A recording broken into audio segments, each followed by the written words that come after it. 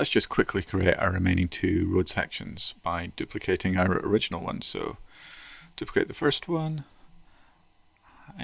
Control H to hide, and that was Control D to duplicate, and that's road 3. We are going to assign a new material. Lambert. We'll call this road middle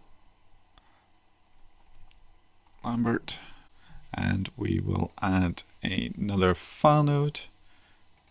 Select our middle texture and there we go. So let's just save. Control D to duplicate. And we're going to call this one land infill because this is going to be sitting under our buildings. Hydro 2 control H with land infill assign new material. Lambert call it land infill Lambert. And this time instead of adding a bitmap we'll just switch to 2D textures. We're going to add a noise. And here we can just choose our parameters.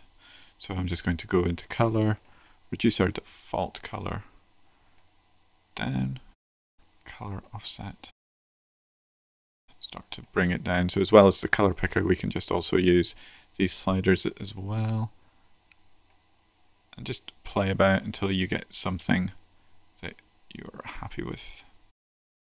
Just reduce this down quite a bit more, that's better. And now in our place 2D texture, we can now switch this to be smaller by, in repeat UV, placing both values to 4. Congratulations, everything is now built and we can now start using MASH to create our scene.